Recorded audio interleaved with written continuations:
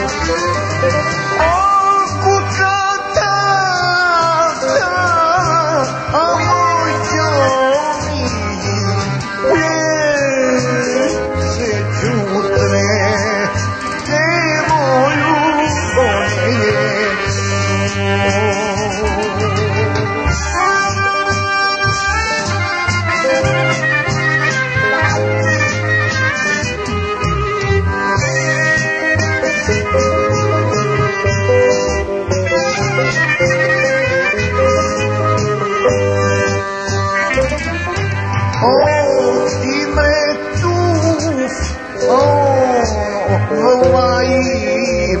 for your dress. Only for the